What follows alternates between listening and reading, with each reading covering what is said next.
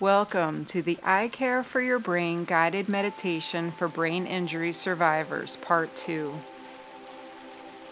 Releasing the Rain. Hi there. I told you I'd be back. This is board certified neuropsychologist Dr. Karen Sullivan. We met before. We planted those seed packs together, do you remember?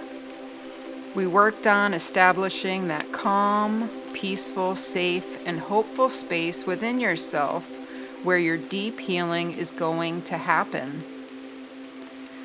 Last time we met, you said yes to brain healing in the new year. You said yes to believing that you have the power within yourself to do this. You prepared the soil with intention, and you lovingly placed the seeds of safety, hope, and whatever else you decided that was needed to begin your brain healing journey. You created the foundation for what you will stand on for what comes next.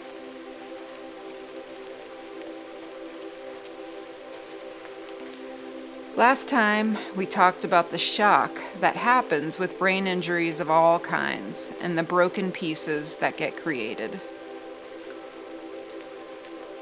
We talked about the need for these pieces to be seen, validated, respected, processed, and most importantly, integrated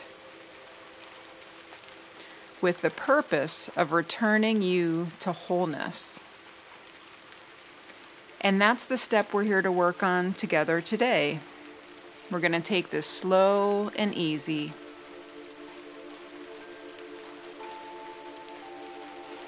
Just like last time, you're going to make yourself as comfortable as you can. Close your eyes and return to those slow, deep breaths.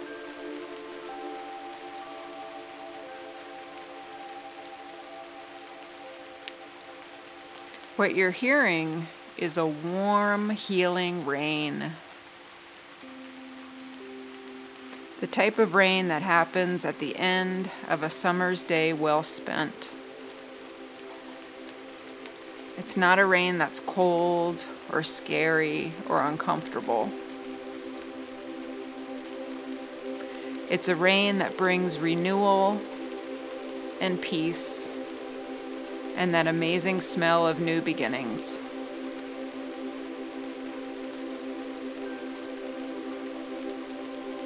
I want you to let go of the most obvious tension in your body as just like before, you feel yourself sinking deeper and deeper into calm. And just like before, you're becoming more and more comfortable, more and more relaxed, with every breath.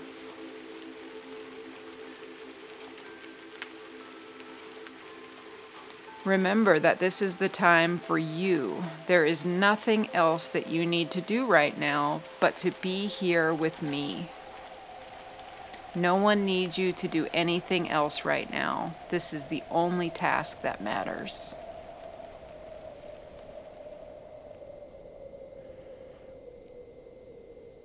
I want you to remember last time when we were together and you were putting your feet in that rich, healthy, nutrient dense soil in that special place. I want you to remember how it felt as you kneeled there. Remember the seeds I gave you, those ones you planted, the ones you pushed down with your feet?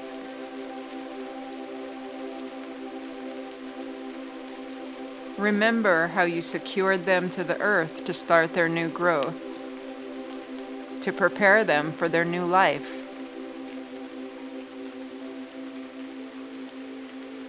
Remember how out of the bottoms of your feet you grew long connections to the very center of the earth that kept you there tight, secure, connected, and attached.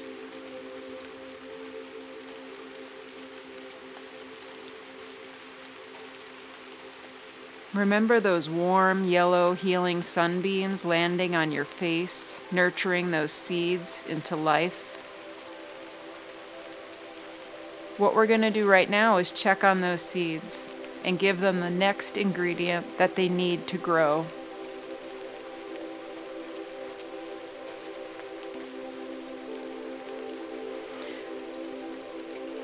One more deep breath in. And releasing out.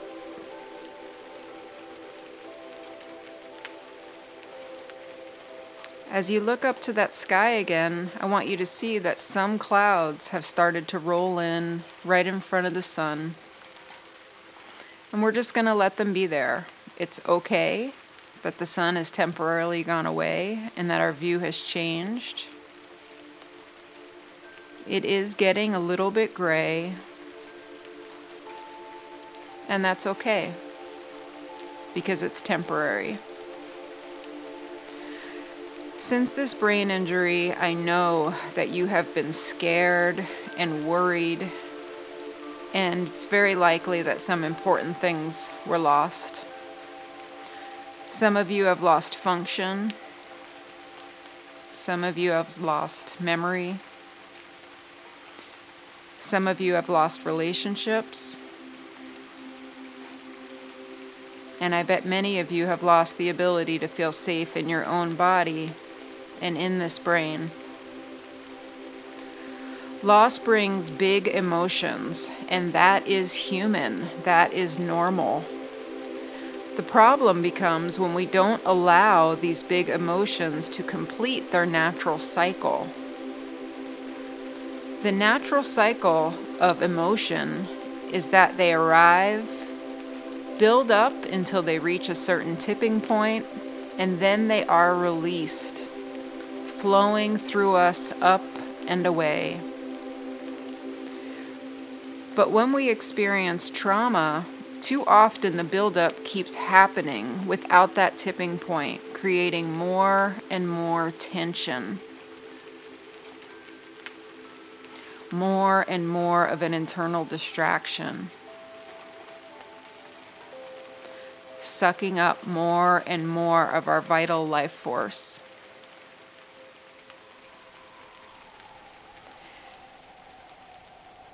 This buildup of tension causes us to tighten, to constrict, becoming so tight and inflexible because we are bracing for the next blow, holding on for dear life.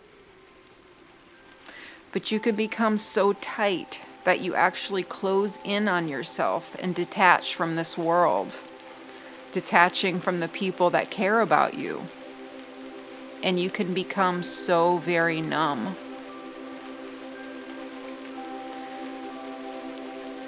But these emotions are just trying to keep you safe.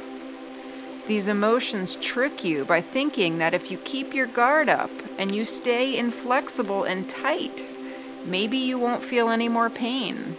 Or best yet, maybe you would have been prepared for what happened if only you had stayed on watch.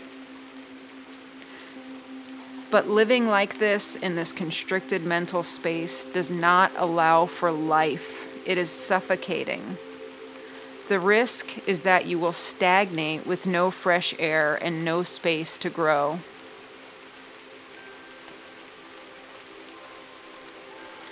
I'm here today to help you find a way through this darkness so it will not settle on you, taking your breath.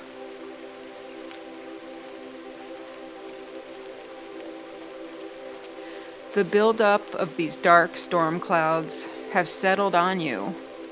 Maybe they've even been following you around, preventing that light from getting in. It can darken everything you see, including your own future and this very important recovery.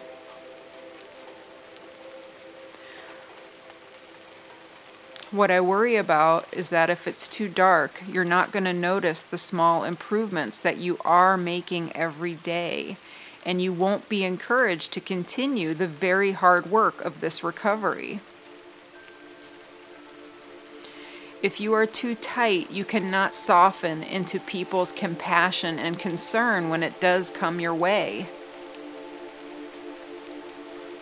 And you need that.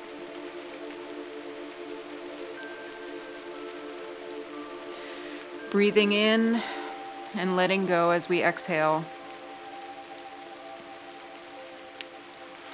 I want you to remember that you're still kneeling next to your soil and those precious seeds. Your feet are still joined to the earth's bedrock firmly and securely.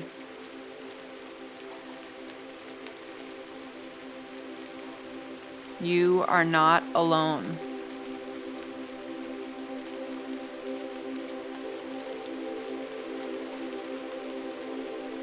I want you to look up and see those dark clouds overhead. There's a tension in the sky that mimics the tension in your bones. And in those clouds, if you look closely, you're going to see the word fear. The only thing we need to do right now is just acknowledge its presence and see how fear has been influencing you maybe even controlling you. When we don't acknowledge that fear is present, it has more power over us. By making this commitment with me to your healing and nurturing, you will come to a new vision of yourself. And part of that vision is knowing that the emotions of fear and hopelessness are no longer serving you.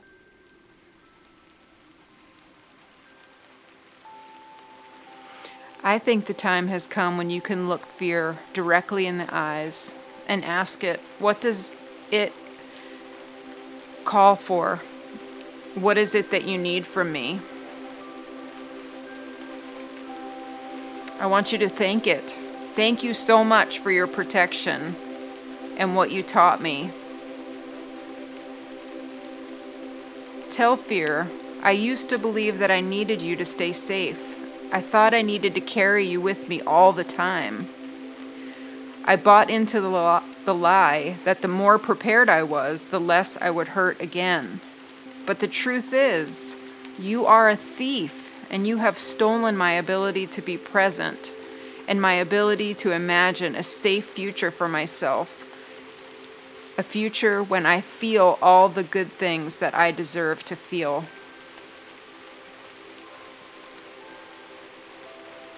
You have stolen my peace with the false promise that I will be safer with you, and it's just not true.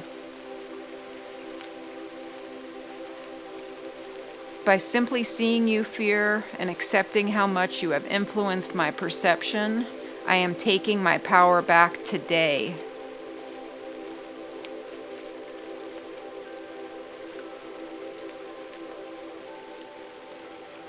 Letting your shoulders and your jaw soften, feeling that guard slowly coming down, knowing that you are safe right here and right now, safe in this body, safe in this world, and safe in this brain.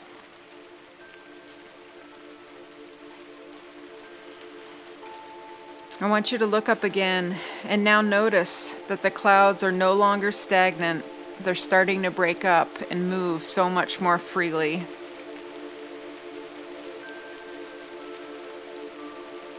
That first raindrop hits your head, and what a relief this brings. There is no longer a need to hold it all in. You are safe to begin the process of releasing.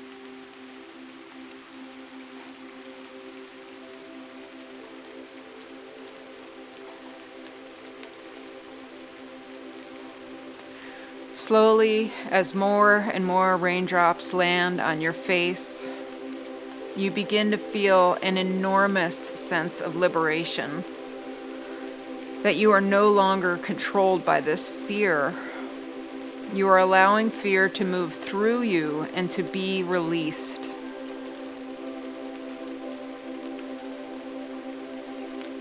You know that in this next step of your healing, you need to have room to grow. Those sunbeams need to be able to make their way through these clouds and into your heart into your brain and into those seeds of your future.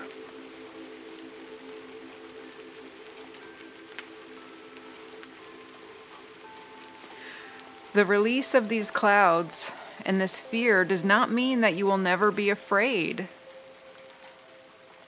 What it means is you're no longer allowing these storm clouds to get stuck over your head. And from now on, these clouds can come and they can go.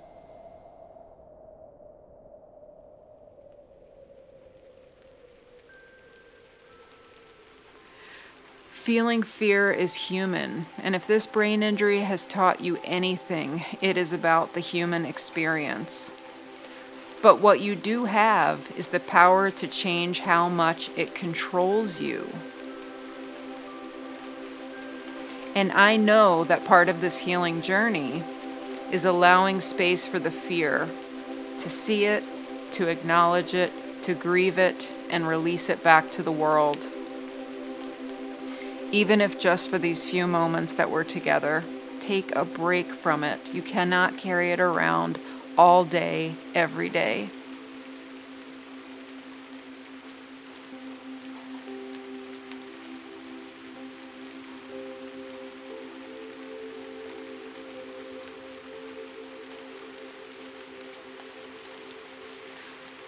Releasing fear often creates a pathway to experience those deep, painful feelings of loss that have come along with this brain injury.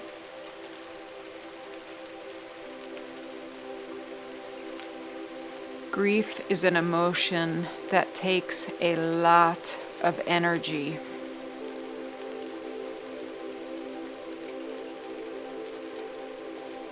What I'm asking is that you reclaim some of this energy that has been tied up in your unexpressed grief.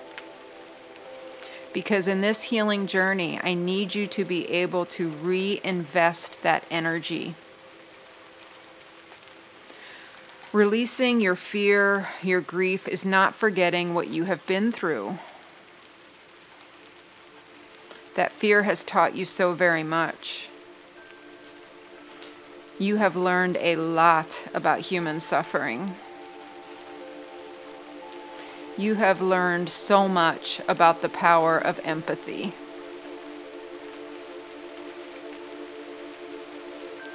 By releasing some of your fear today, you are giving yourself permission to build a new life in its place. By releasing fear and grief today, you are choosing to get unstuck and consider that brighter days are ahead.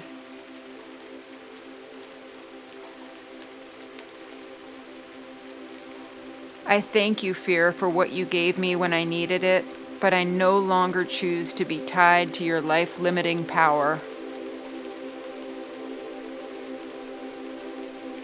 I take my power back today for me and for my brain.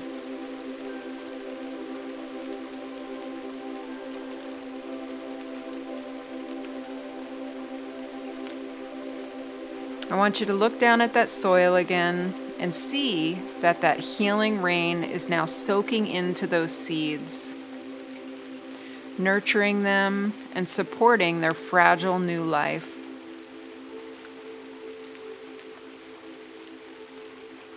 take a minute to think about what is in those raindrops. What is it that you so badly needed to release? This is a personal question that only you can answer.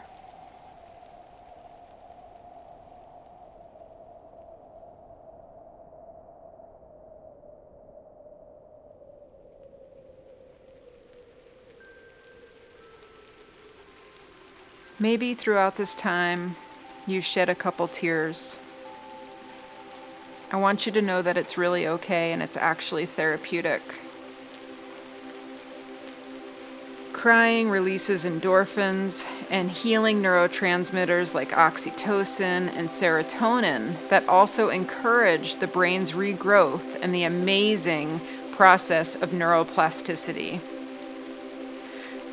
Crying is the body's way of releasing stress hormones that have built up over time.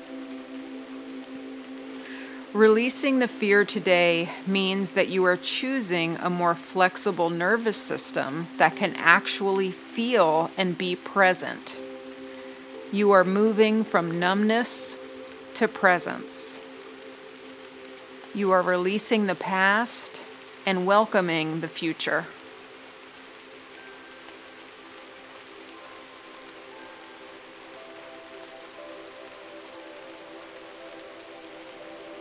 This rain is cleansing. It is part of nature's cycle and it brings life.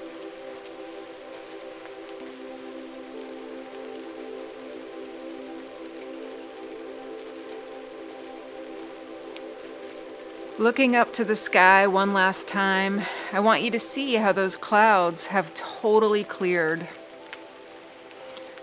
Smell how the air is purified and fresh. You have moved those dark storm clouds away for today.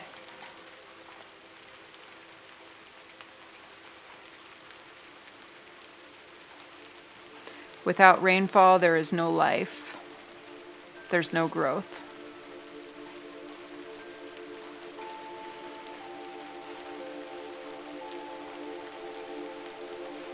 I want you to visualize your heart. And I want you to see that a new space has been opened up today.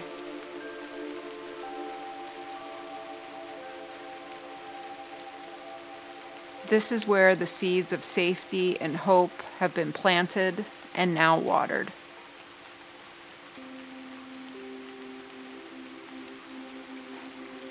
There is the promise of a new day you are ready and you deserve this next day.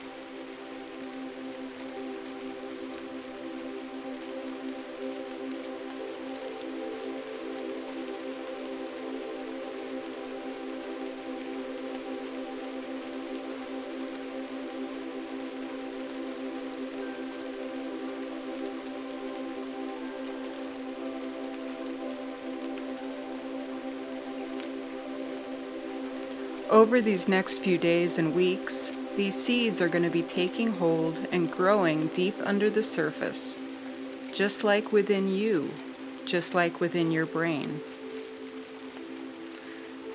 The next time we're together, we're really going to be ready to begin the journey of encouraging and supporting neuroplasticity at the cellular level. These last two sessions were really all preparation. We are going to use evidence based visualizations to help you regain abilities, regain function, and work towards the acceptance of this new and awesome you. You can return to this recording over and over again, knowing that each time you are bringing more and more healing directly into your mind your body, your soul, and in your brain.